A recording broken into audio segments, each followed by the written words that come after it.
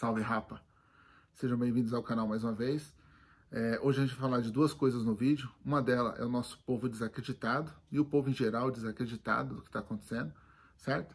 Questionando até a questão das mortes, 2.300 mortes e o povo questionando. Nós vamos falar disso e nós vamos falar também das sequelas que ficou, que eu fiquei pós o Covid nesses meses, né? Muita gente me pergunta isso, fala, pô, Fez, fala um pouquinho das sequelas, o que aconteceu, como que você se sente hoje, porque eu tenho um primo na situação tal, eu tenho uma irmã na situação tal, um cunhado e tal, então eu vou aproveitar esse vídeo para falar disso, certo? Algumas pessoas também falaram, pô, você voltou já semana que vem, da hora, falou que ia dar um tempo, deu um tempo mesmo de Instagram, vocês podem ver lá, deu um tempo de stories tal, essas coisas todas, até para se dedicar mais na questão da ONG, né, da interferência, mas aqui dos vídeos eu resolvi voltar nessa semana, porque é um momento que a gente não pode ficar calado, né, mano? Eu não, eu queria ter o poder que tem vários músicos, vários rappers, vários artistas de forma geral, não só rappers, que tem milhões de seguidores aí que podiam dar o exemplo, né? Mas aqui com vocês, o nosso pouquinho aqui, nosso pocão, né, que acaba sendo muito, é, pelo menos o meu papel eu tô fazendo, tá ligado? Pena que os caras não orientam, não trocam ideia com a quebrada, com as pessoas que precisam trocar, tá ligado? Então, vamos se tocar aí, mano, que é o momento de não ficar calado certo? Não dá, não dá para ficar calado. Então, a gente se esforça daqui e dali e resolve fazer o vídeo. É, não consigo, rapa, não consigo ficar ausente de trocar essa ideia, tá ligado? Porque também me faz bem saber que eu tô me posicionando e que tem algumas pessoas impactadas do outro lado falam, mano, lindo, legal, levei para minha avó, levei pro meu avô que você falou, levei pro meu irmão ali, meu irmão vai prestar mais atenção. Então, primeiro, pessoal muito desacreditado, mano, desacreditado mesmo. Ninguém quer abrir mão do que tá fazendo. Ninguém quer abrir mão do hobby, ninguém quer abrir mão da academia, dos rolês, ninguém quer abrir mão de nada, rapaz. Tá ligado? E aí ficam me perguntando: será que vai vir uma fase roxa, fase preta, fase não sei o quê? Mano, como que eu vou saber? Se vocês não dão, tá ligado? O braço a torcer em nada, mano. Adianta, o governo já pautou o bagulho que é para vocês desacreditar mesmo e morrer. Aí vocês vai lá e acreditam mesmo e foda-se, velho. Tá ligado? Então é muito difícil, mano, você orientar, você trocar ideia com quem não quer ser orientado. Porra, se um senhor chega em mim que nem ó, oh, mano, pô, eu tô com medo de pegar, eu tenho 70 anos, a vacina nunca chega a minha vez de 70 anos. Eu falei, senhor, enquanto isso, vai usando a máscara, vai usando álcool, eu tô vendo que o senhor tá sem álcool aí, ó. Só foi comprar pão, só passou álcool na mão, só lavou a mão com sabão. Ah, não, ficar usando álcool. Então, o cara não quer se entubar, não quer morrer, mas também o cara não quer usar álcool, não quer usar máscara. Então, mano, não dá pra. É um. O que que tá acontecendo, rapaz, com a população de forma geral? Os caras saem na rua tudo aglomerado. Ah, aí vai sempre ter um aqui comentando, da hora. É, Ferrez, mas os busão tá lotado. Os busão muitas vezes tá lotado porque não tem opção pra pessoa, ela tem que sobreviver. Mas se você tem opção, irmão, você acha que rolê meia-noite no barzinho fechado, meia porta é, é, é, necessário? Você acha que você não pode abrir mão disso para poder o seu avô viver, tá ligado? Deixar de morrer do jeito que tá acontecendo? As pessoas não entenderam ainda que elas são assintomáticas. Muita gente é assintomática, mano. Isso é uma doença cabulosa. É uma doença cruel, mano.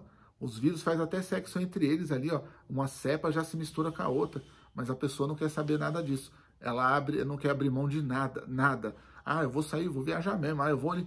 Ih, liberou esses 14 dias, eu vou pra praia. Ou quantas vezes eu tô vendo isso em todo lugar, tá ligado, Rafa? Então é triste, mano. É triste. E eu falo isso por quê? Porque eu peguei o barato, vocês sabem, tá ligado? A recuperação foi difícil. E depois da recuperação, ainda tem as sequelas, tá ligado? Fiquei com várias sequelas, estou tratando aos poucos. Tem dias que minha voz é ruim, não volta. Eu peguei um negócio que é quase como se fosse uma bronquite, que eu não tive como avaliar ainda, porque não, a gente não está podendo ir no médico, né? Mas quase uma bronquite, porque tudo que eu tomo gelado, se eu, se eu tomar um sorvetinho, um geladinho, se eu tomar uma água gelada, eu fico doente, tá ligado? E é questão de minutos depois, mano. 15, 20 minutos depois eu fico doente de novo, já fico ronquidão, gripado, tá ligado? Então, rapa, é, muita, é, é, muito ruim você pegar esse negócio. Quem pegou aí sabe, teve gente que paralisou o membro, teve gente que, que deu, deu é, inchaço na perna, deu problema na bacia, paralisou uma perna. Teve gente com cadeira de roda, tá ligado? Então, cada um com a sequela. Tem uma coisa também que eu queria conversar com vocês aqui, orientar, que não me orientaram quando eu precisei. O pós-Covid, depois do tratamento, depois que a gente fez o tratamento que tem, né? O tratamento que está tendo, muita água, vitamina e, e as medicações que os médicos entram com protocolo. Depois disso, você se curou ali do Covid, aparentemente, você tem que fazer exercícios pulmonares, Se você pegou, tá ligado? Que nem eu peguei pneumonia a, a, a, por causa do Covid, tem uns exercícios pulmonares que não me ensinaram, não fizeram comigo. Nenhum médico me deu essa orientação. Eu fiquei sabendo depois. Então, se você tiver essa doença ou tem alguém que está tendo agora, oriente para depois, pegou pneumonia, fazer os exercícios pulmonares de respiração. Exercícios ali com a garrafa PET, com canudinho, esse tipo de exercício, você puxa aí na internet, você se informa, tá ligado? Se você não tiver um médico que te orienta nesse momento. Mas esses exercícios são necessários para depois do Covid você voltar 100% com pulmão, tá ligado? Então, era esse o papo que eu queria trocar ideia com vocês, não é muito estendido não. Mano, parem de ser desacreditado. Se você tem alguém para orientar, orienta. Não é o momento de ser desacreditado. Tá morrendo muita gente. 2.300 pessoas, rapaz. É vidas demais. E tem gente que fica questionando o número. É, você acha que tá morrendo? Falei, cara, como que meu parceiro tá internado? O pai da minha amiga morreu, a mãe da minha amiga morreu. Como que não é número? Como que não tá nesse número? Então, é tudo mentira, entendeu? Então a gente tá. É um universo paralelo aí, fantástico mundo de Bob. Muita gente tá vivendo nesse mundo aí, mano. Vamos acordar, que o bagulho tá difícil. Ninguém está fechando comércio de Alegre.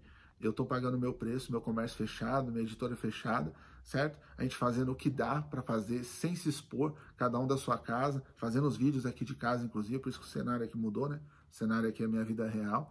A gente trocando toda essa ideia e muita gente desacreditando, mano.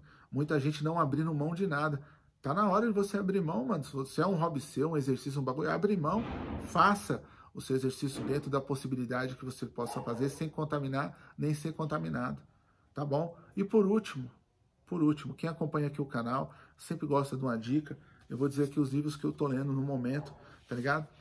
Esse aqui, ó, Os Supridores. Eu sempre esse nome é difícil, né? Os Supridores do José Faleiro. Ele se passa numa época passada, tá ligado? Retrata muito periferia. É um livro muito bem escrito e tinham mandado para mim, a editora Todavia tinha mandado, e eu não deixei aqui, mano. Falei, eu vou ler, eu vou ler. Aí eu vi um, um jornal falando do livro.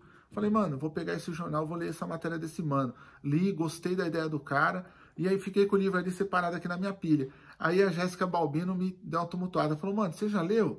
esse cara. Eu falei, não, tá aqui o livro. Ela falou, lê, mano, lê que lembra, lembra um pouco a sua escrita, lembra as ideias de literatura marginal. Eu falei, pô, mano, então eu vou ler. Então, os supridores Tá muito divertido, muito forte o livro também, certo? Tô gostando, ainda tô em fase de leitura, né? Gessé Souza, A Elite do Atraso, mano. Esse livro aqui já foi muito recomendado por muita gente. Tô lendo também e voltei a ler, né, mano, para poder terminar finalmente o Gomorra do Roberto Saviano, né, mano? O Roberto Saviano é um monstro, vencedor de Cannes, o filme foi premiado, os bagulho, mas o livro é pesado demais, mano. Tem uma série também que fizeram, né? Gomorra, Mano, isso aqui é pesado, mano. É o cartel nervoso mesmo. De quadrinhos, eu tô lendo Jack Kirby, certo? O rei, rei dos quadrinhos, a época, é uma biografia épica que eles falam, né? Uma linguagem bem diferente, assim, o um quadrinho bem, bem desenhado, tá ligado? Bem escrito também, embora você vê a parte documental muito, muito ali no texto. É uma coisa que me irrita um pouco de muito estudo. O texto podia ser mais fluido, mas tudo bem. E tô lendo Quadrinhos para Quadrados e Redondos, que é um nome horrível, mas o livro é bem legal. Diamantino da Silva e Kendi Sakamoto. Certo? É um livro de estudos teóricos né, de quadrinhos. Tá? Comprei na Comic Boom esse aqui. E esse também eu comprei na Comic Boom. Então, se você puder comprar nas lojas físicas, tanto na Monstra como na Comic Boom, na Comics Bookshop ou na loja da Sociedade, no site aí que represente a Comic Store da Sociedade, você compra que eu não vou deixar link para nada não tá ligado? Porque hoje o vídeo é mais para a gente trocar ideia. E claro, tô relendo Deus em Pessoa aí, que a gente lançou agora, tá ligado? Tô relendo esse livro aqui, que é esse quadrinho pesado que a gente lançou. E aí eu falei, mano, eu vou reler até para ver se eu acho algum erro, alguma coisinha, né? O Thiago fica puto comigo, meu sócio, quando eu falo, mano, tá relendo para ver se acha erro, viado. Mas até agora não achei erro nenhum e nem nos outros também.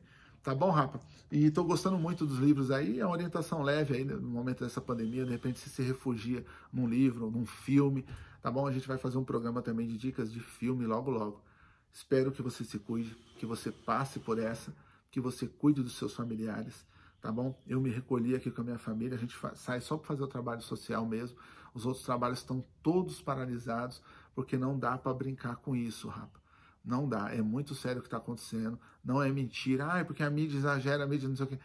É um momento que você tem que pagar o preço para poder ajudar a sociedade a passar por isso, mano. Então pague o seu preço, fica mais reservado, dentro da sua possibilidade. Eu sei que tem muita gente também que está trampando, que tem que se expor, mas, mano, no paralelo tem muita gente também que não tem que se expor, que está se expondo, mano. A gente sabe qual que é. Beleza? Deixe seu comentário aí, como sempre, naquela educação, naquela disciplina, como vocês sempre deixam, e vamos em frente, tá bom, rapa? Tamo junto.